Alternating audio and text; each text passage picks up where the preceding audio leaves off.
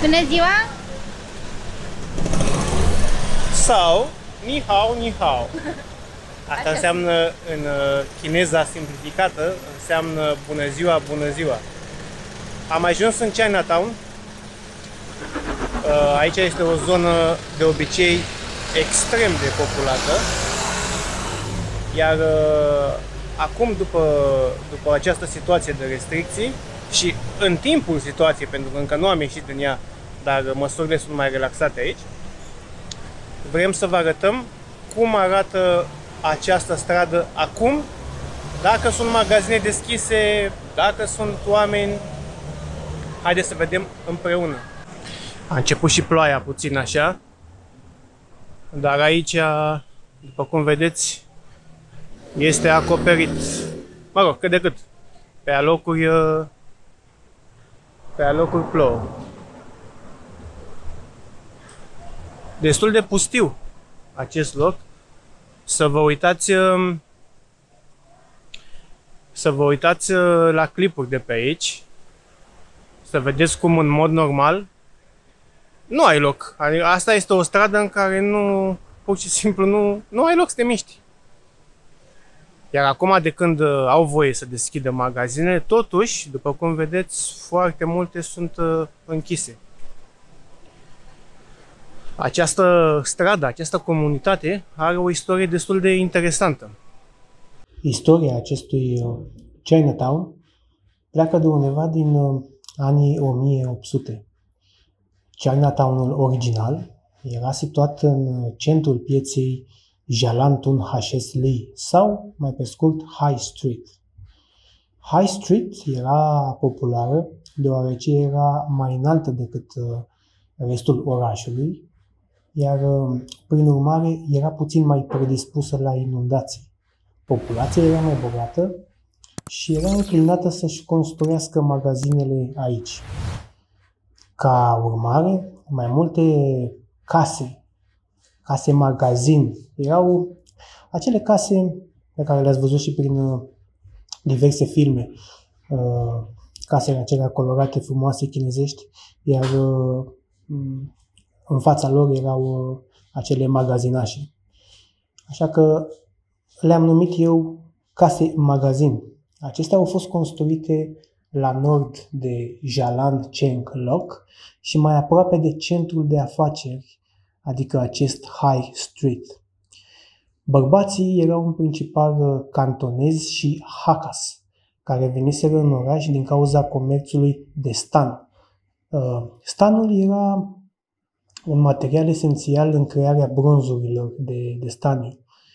Aceștia erau conduși de un uh, capitan chinez sau un șef, cel mai cunoscut dintre ei fiind uh, capitanul chinez Yap Ah Loi, care era un Hakka. În uh, 1870 a izbucnit un război civil în cadrul comunității chineze. Acesta a fost dat între Hokkien-Hin și societățile secrete ale Hakka Haisan. Britanicii, realizând că războiul le perturbă uh, economia și lanțul de aprovizionare, au uh, decis să intre în război, cum fac acum americanii cu țările arabe. Cam același lucru făceau și, și englezii atunci. Cum uh, era puțină ceartă pe undeva și, bineînțeles, erau și ei afectați, uh, nu direct, dar uh, na, era- le era afectată economia, să zic așa, interveneau repede, se băgau să, să facă pace. Ca urmare a lungului război civil, multe dintre clădiri au fost distruse sau deteriorate destul de grav. În timpul acestui război civil, minele de staniu au fost abandonate, așa că în timp uh, neglijarea lor în această perioadă a dus la inundarea acestora. Când s-a terminat războiul și când minerii s-au întors după război, au descoperit că minele erau nefuncționale din cauza inundațiilor. Uh, Iap Ahloi a reușit să-i convingă pe mineri să rămână în Kuala Lumpur și de asemenea i-a convins și pe malaizieni din, uh, dist- pe malaizienii din districtele înconjurătoare să crească orez sau uh, alte, alte legume, animale. El a deschis aici o moară, o moară de tapioca în uh, strada Petaling. Exact în, pe strada aceasta unde este acum uh, acest uh, Chinatown, unde tuberculii din fermele sale au fost aduși aici pentru a fi măcinați în făină. Petaling Street este numit în cantoneză Chechong Kai, ceea ce înseamnă stretch factory în engleză, adică strada fabricii de amidon. Cam asta este povestea pe scurt al, al acestui Chinatown și a acestei zone. Și după ce m-am documentat puțin, am decis să o împărtășesc cu voi pentru că este o poveste destul de interesantă. Și poate se intră pe acolo cumva. Uite, un magazin cu cu ceai. Aici, da, ar trebui să găsim uh, ar trebui să găsim ceva ceai, pentru că chinezii sunt uh, sunt fani. Sunt fan ceai. Și numele, dacă, schif, dacă zici fan ceai, sigur îți răspunde cineva. Da, da, eu sunt. Fan ceai. Uitați și un magazin aici. Uh, și multe străduțe din astea, așa, micuțe, strânse.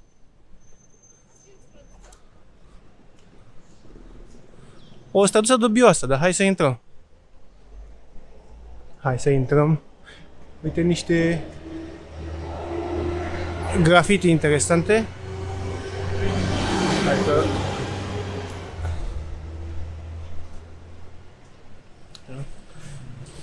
Să vedem ce avem aici. Și o barieră. Cred că e cumva folosită pentru aprovizionare strada asta, din ce, din ce îmi dau eu seama. Chiar dacă mai sunt și intrări în, în case. Cam așa arată, dacă strada asta dă în, în piață.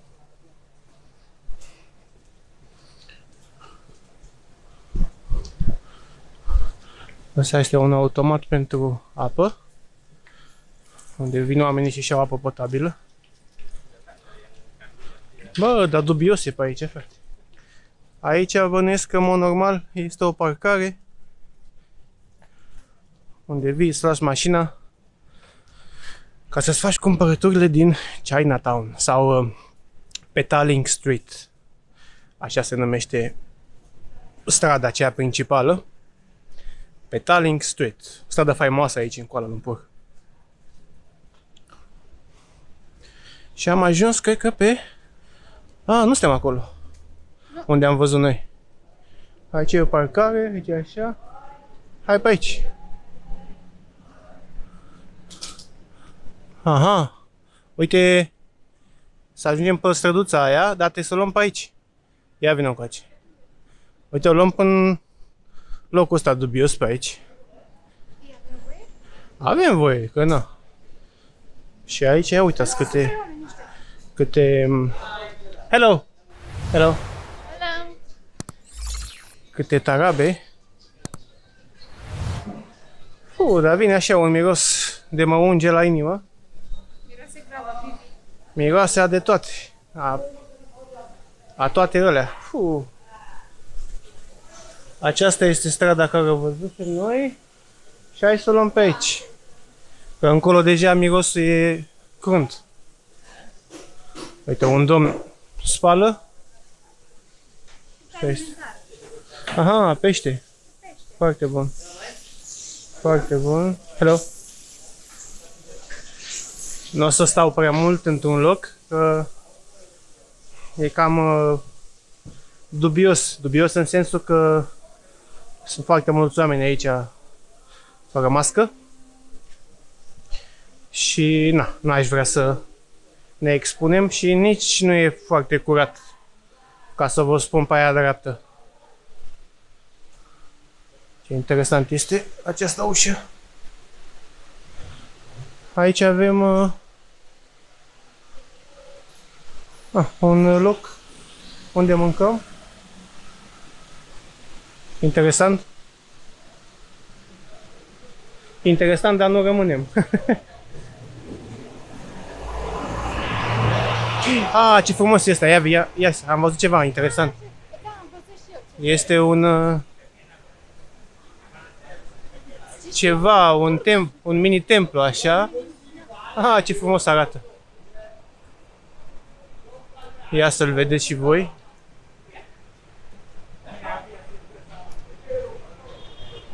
Hai să ne apropiem puțin. Uite și pe domnul care e destul de vesel la ora aceasta. Bucuros că l-am filmat. O să-și ceară dreptul de autor de la YouTube. Ce drăguțe. Uitați cât de frumos este acest templu.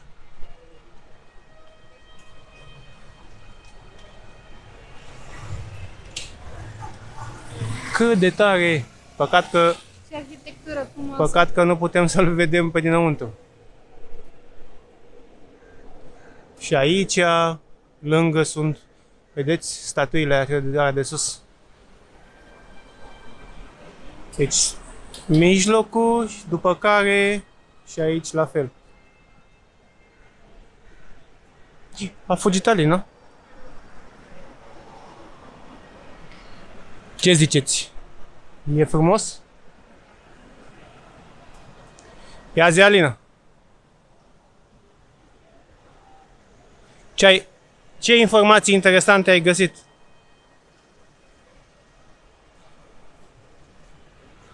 Ei, mai stai pe acolo.